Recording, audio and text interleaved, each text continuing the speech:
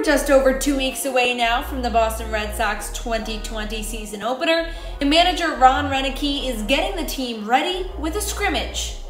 In a Zoom call with reporters on Wednesday, Roenicke said at least one exhibition game will be helpful in getting the clubs back into the swing of game action. The first inter squad scrimmage is set for Thursday, July 9th, with Nathan Eovaldi pitching four or five innings before Chris Mazza will take over. Roenicke also hinted at there being a familiar face behind the batter's box, saying, Don't be surprised if Jason Varitek is behind the plate as an umpire.